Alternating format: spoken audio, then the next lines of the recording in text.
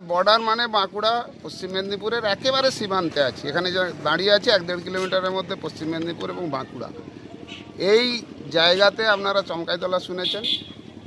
দশ সালে সরকার পরিবর্তনের পর এগারো সাল থেকে যে, এগারো সালেই সরকার পরিবর্তন হয়েছে, এই দশ বছর ধরে যে অস্বস্তিকর, অসহনীয়, যন্ত্রণামূলক পরিবেশ এখানে সংগঠিত হয়ে আসছে। মানুষ শত স্বতঃস্ফূর্তভাবে রাস্তাতে মিছিলে নেমেছেন শুধু তা না, শত বাধা উপেক্ষা করে প্রচণ্ডভাবে এই গোটা সপ্তাহটা ধরে বিভিন্ন গ্রামে গ্রামে নানা ধরনের নিপীড়ন সহ্য করে।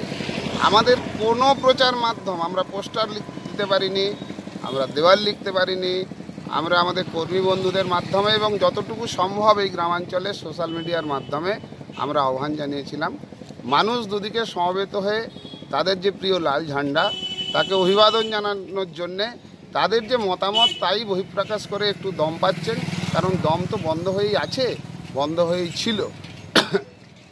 ঠিক এই মুহূর্তে এই মহামিছিল, যা পাঁচ দশমিক পাঁচ কিলোমিটার, সাড়ে পাঁচ কিলোমিটার অতিক্রম করে আমরা কয়াপাট দোলতলাতে পরিসমাপ্তি ঘটাবো। সেই মিছিলে মাংস, মানুষের অংশগ্রহণের স্বতঃস্ফূর্ততার কথাই আপনারা বলছেন। এবং সেই স্বতঃস্ফূর্ততার বহিঃপ্রকাশ শুধুমাত্র বামপন্থীদের প্রতি, লাল ঝান্ডার প্রতি, তাদের অকৃত্রিম ভালোবাসারই বহিঃপ্রকাশ। এটা ছিল, থাকবে এ মিছিলের বপু আরও বিশালাকার হতো। যে কোনো সময় আট দশ হাজার মানুষের মিছিল, কোনো কঠিন ছিল না।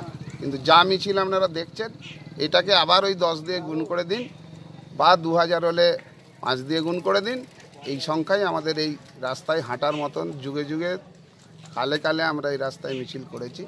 আজকে এই পরিবেশে এই মিছিল আমরা করছি। কংগ্রেস আমাদের সঙ্গে আছেন। কেন্দ্রীয় সরকারের জনবিরোধী যে সমস্ত নীতিগুলো, কৃষকের জীবনে দুর্বিষহ যন্ত্রণা সহ বিদ্যুৎ বিল, রাজ্য সরকারের যে চরম অপশাসন, নৈরাজ্য, অরাজকতা, তার বিরুদ্ধে ঘৃণা, এই সামগ্রিক পরিবেশ ভারতবর্ষের মিলে, বিশেষত পশ্চিমবাংলায় তৃণমূল কংগ্রেসের অপশাসনের বিরুদ্ধে আমরা শুধু বামপন্থীরা নই, জাতীয় কংগ্রেস, আইএসএফ ঐক্য ঐক্যবদ্ধভাবে আমরা আঠাশ তারিখে ব্রিগেডও সমাবেশ করব এবং আমরা সম্মিলিতভাবে এই অপশাসনের বিরুদ্ধে সামনে নির্বাচনী সংগ্রামে আমরা অংশগ্রহণ করব। জানি না নির্বাচন কোন পরিবেশে, কোন পরিস্থিতিতে, কেমন করে মানুষের এই স্বতঃস্ফূর্ততার বহিঃপ্রকাশ তারা ঘটাতে পারবেন, জানি না। কিন্তু আমরা বামপন্থীরা সবাইকে নিয়ে নির্বাচনী সংগ্রামের জন্যই তার ঠিক প্রাক মুহূর্তে আমরা এই মিছিল সংগঠিত করলাম।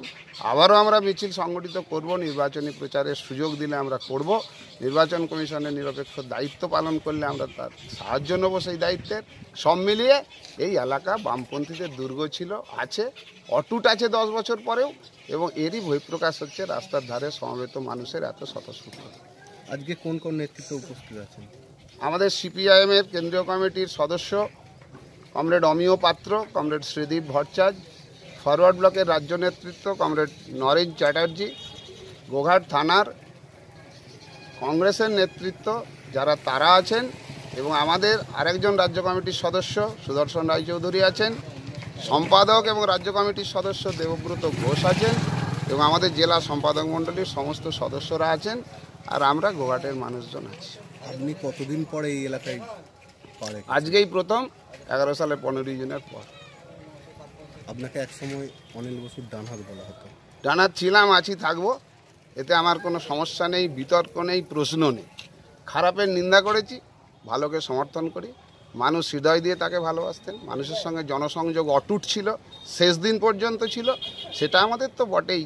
দীর্ঘদিন কৃষক আন্দোলন একবারে বন্ধ এলাকায় সংগঠিত করা পরে এই চমকাইতলায় চমকে দেবো স্লোগানকে। এই মাঠে দাঁড়িয়েই তোমরা চমকাতে এলে আমরা মুচকে দেবো। এই কথা আমাদের আজকে স্মরণ করিয়ে দিচ্ছে।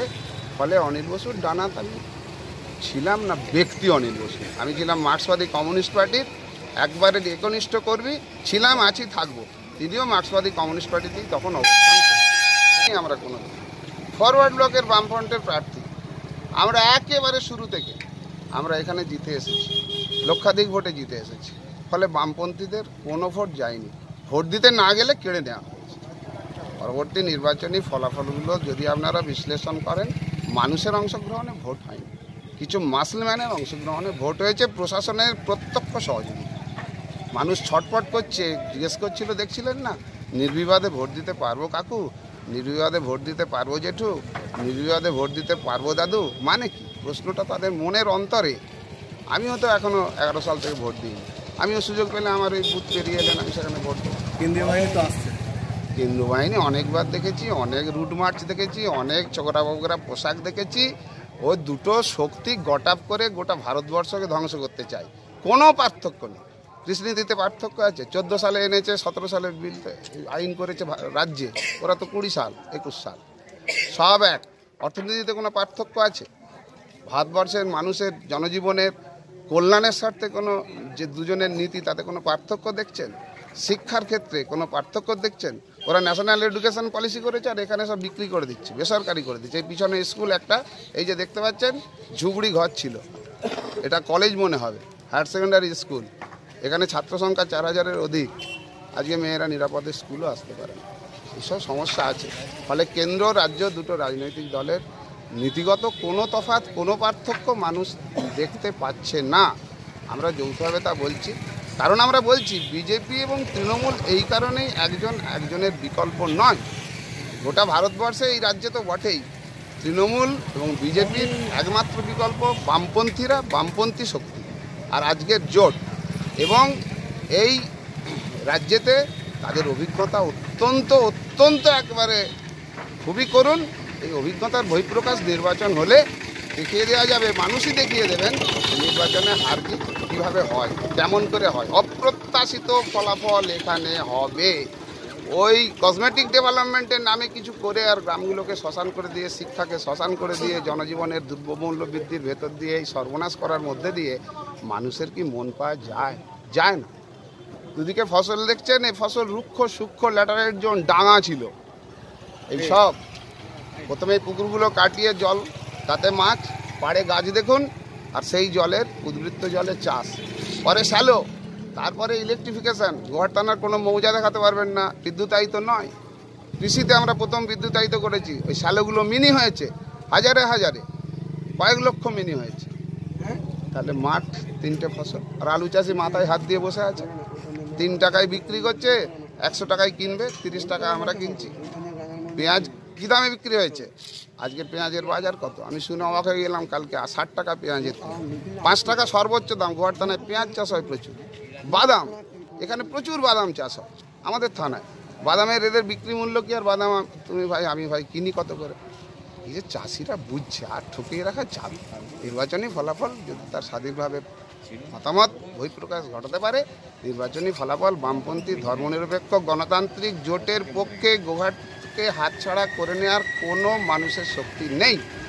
শুধু বাহুবল বেশি বল প্রশাসন এবং সমস্ত রাজ্য সহযোগিতা এক কাছে জড়ো করে মানুষের নিজস্ব মতামতকে আজকে যত বছর ধরে এগারোর পর থেকে সরকার চলছে, তত বছর ধরেই তারা বিজয়ের ধ্বজা ওড়াচ্ছে।